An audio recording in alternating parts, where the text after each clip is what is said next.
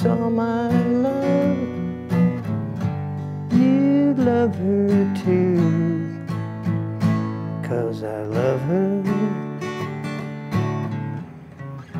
Okay, uh, my diagnosis was Hep C, cirrhosis of the liver, and emphysema and COPD. I think that's the right one.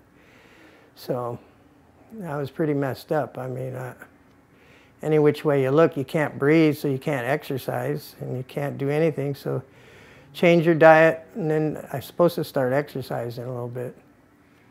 Oh yeah, and I had cancer too, and skin cancer.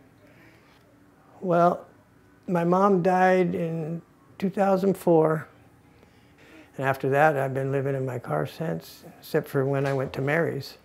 For many of our folks that were formerly homeless, what a tremendous blessing this is. I mean, we've got uh, about 260 square feet. We've got cabinet space, TVs, we've got a kitchenette over here, refrigerators, but the gold standard is we've got a bathroom here, a private bathroom for our folks in their residence. You know, many times the traditional SROs had the communal bathrooms down the hall, which was kind of an indignity. So it's not the, it's not the Taj Mahal, but I tell you what, it beats the bricks. Okay, I can't have sugar, salt, oils.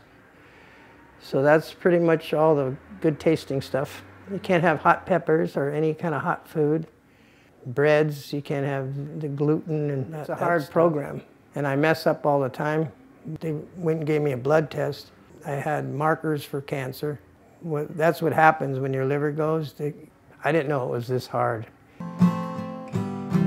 Nothing to kill or die for, and no religion too.